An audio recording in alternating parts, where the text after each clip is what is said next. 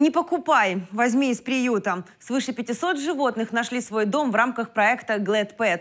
Онлайн-сервис работает уже полтора года и успел показать неплохие результаты. Любой желающий приютить кота или собаку может выбрать его среди питомцев на сайте Glad Pet. В поисках дома еще 925 четверолапых. Теперь на онлайн-ресурсе можно также добавить информацию о животном, которое ищет семью, или сообщить о пропавшем или найденном питомце.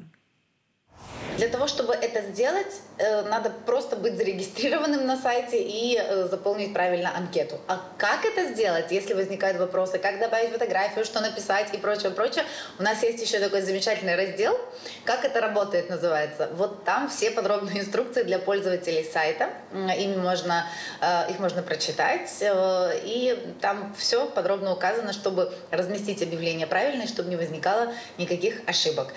Очень важно, на чем мы всегда делаем акцент, чтобы фотография питомца, который ищет дом, была хорошего качества. Ну, не так, э, он бежал, я его сфотографировал, и получилось размытое нечто. И непонятно, кто это бежал, собака, кошка или кто-то. А, чтобы было хорошего качества, чтобы это было видно ну, с разных ракурсов, но еще желательно, конечно, добавить видео и сделать нормальное описание. И это 60% успеха того, что питомец быстрее найдет свой дом.